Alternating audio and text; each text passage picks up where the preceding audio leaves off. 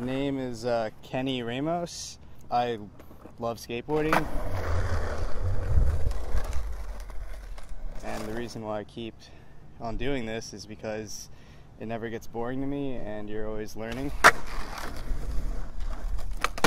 And, uh, right now we're at a parking lot around the corner from my house.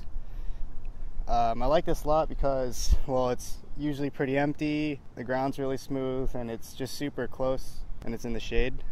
So, you know, you don't really have to get burned in the heat.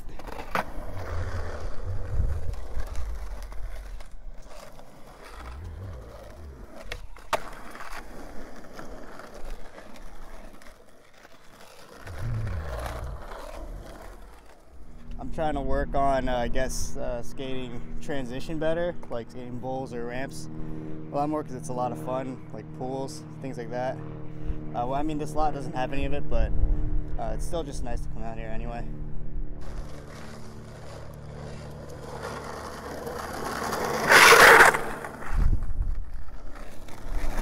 Right now it's a little before noon, so this is probably my favorite time to come out here because I'm the only one in this parking lot and it's just quiet, so I have, you know, this whole area to myself for a little while.